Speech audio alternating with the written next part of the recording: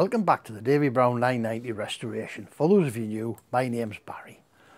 It's been a long time since we could do this, isn't it? Sitting outside in the sunshine, lovely and warm as well. So today's little job, we've got to amend and repair what alternator guard. Now, we need a piece welded on here to come out here.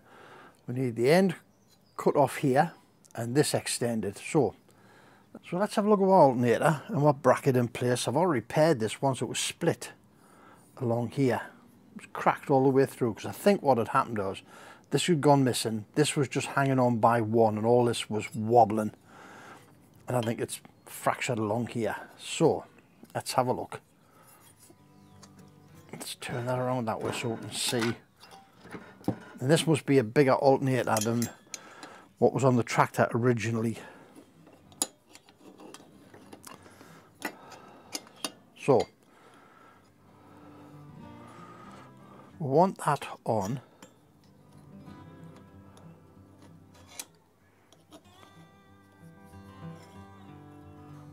Try and find a nice place where it because what we don't want is the vanes catching as it rotates isn't it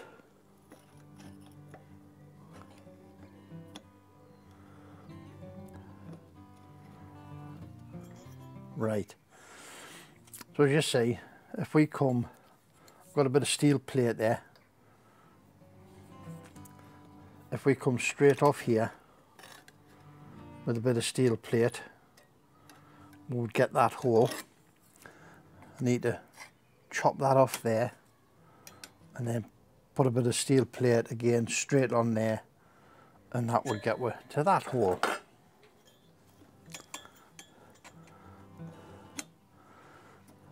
The hard bit is because because this is a bigger fan we just need to make sure that we are getting enough clearance before we drill our holes. So if we cut that off just at the back of that hole we're going to need a bit about two inches to go on there which will allow us to shape it and we need about inch and a half for this side which will allow it to, shape it. And that'll give us enough room to mess about in the holes because this is the this is tapped. This one's tapped here. This is the end that fits onto the adjustment bracket. This is the end that fits onto the fixed bracket. And it sits on the tractor in that orientation doesn't it? So we need that to come in something like that, don't we? Might even be advantageous, what do you think, to weld a bit of across the front of there.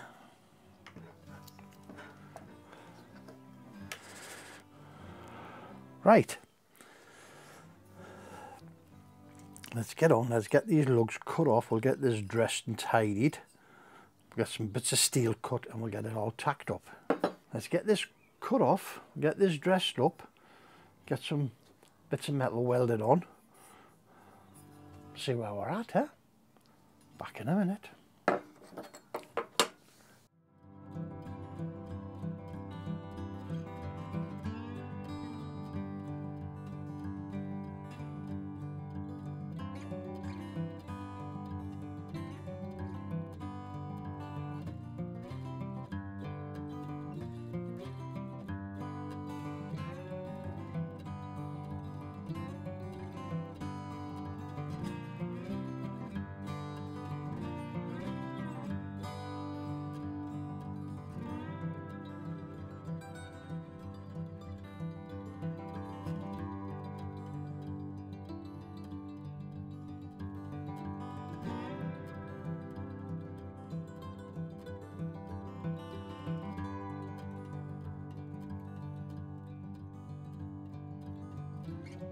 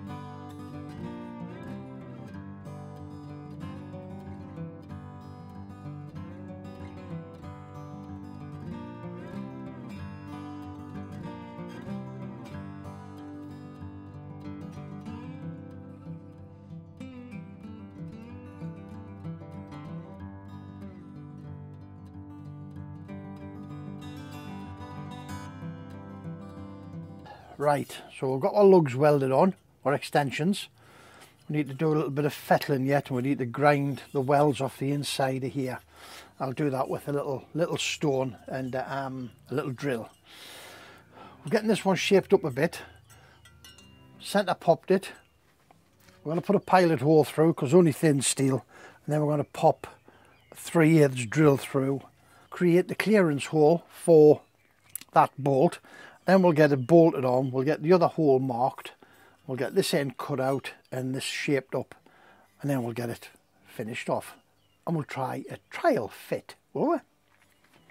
Right, let's crack on.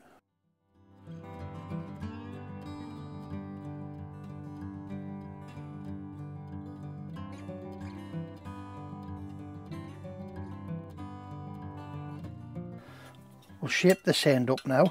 We will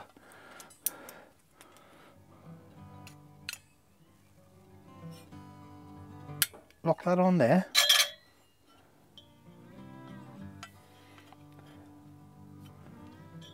Make sure we've got free play in there.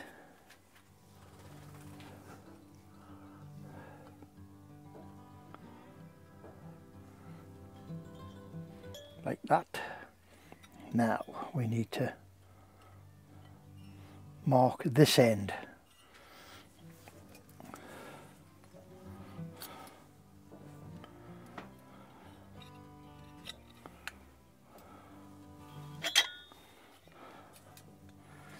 without the catching.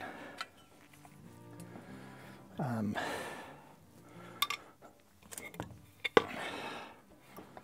pop that in there so I can get underneath with my scriber. Okay.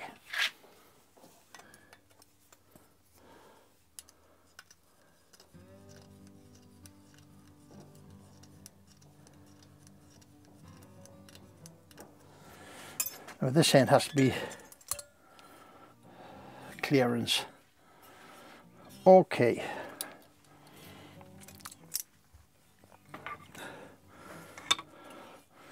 Let we go and centre pop that then we'll drill it and then we'll shape it. Back in a minute. Got our second end marked, set up on the vise here. We'll find our centre.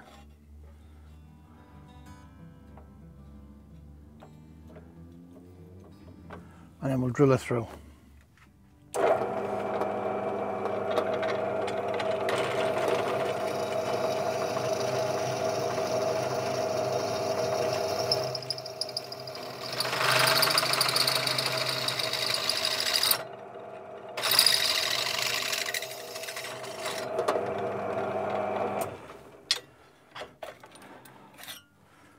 Just make sure we're going to catch our blocks.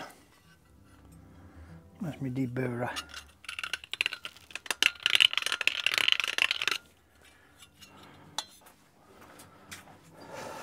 Big drill.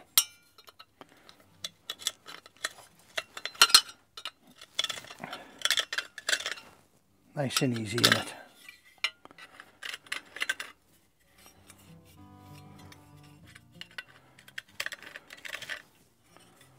There we go. Okay. One more trial fit. Let's get that.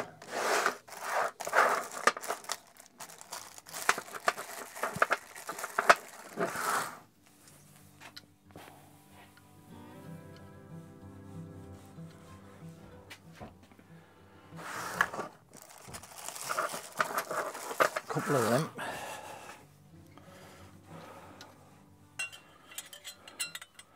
It's not the right thread, but it fits the hole.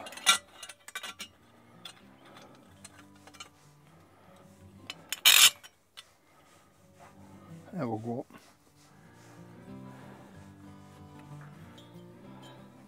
Okay, so what we can do now, shape this end up, finish off.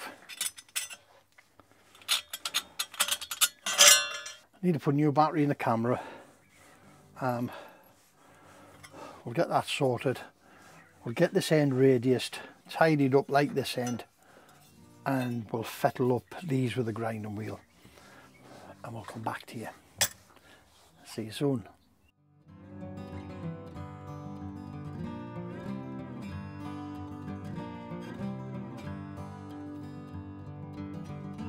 Right guys, that's it finished for the time being apart from I've got some little fettling up to do on the wells where I missed here and you don't know that until you brush it and the slag comes out. But uh, that's it sorted. We'll pop up to the tractor with it give it a test fit make sure everything works with the belts and everything else in place whip it back off give it a clean up coat of paint.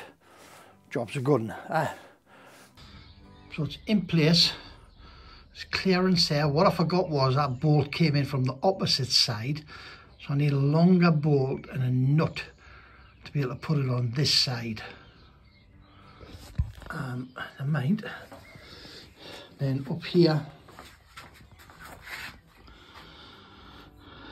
I need to take this corner off here a bit more. It's there is clearance there.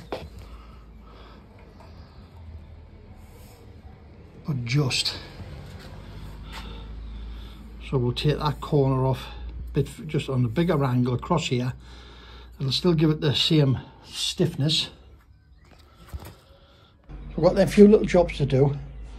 Um that's it we'll knock that corner off we'll tidy everything up and it'll be sorted won't it? Right. Let's get it back off. Let's get some fettling done.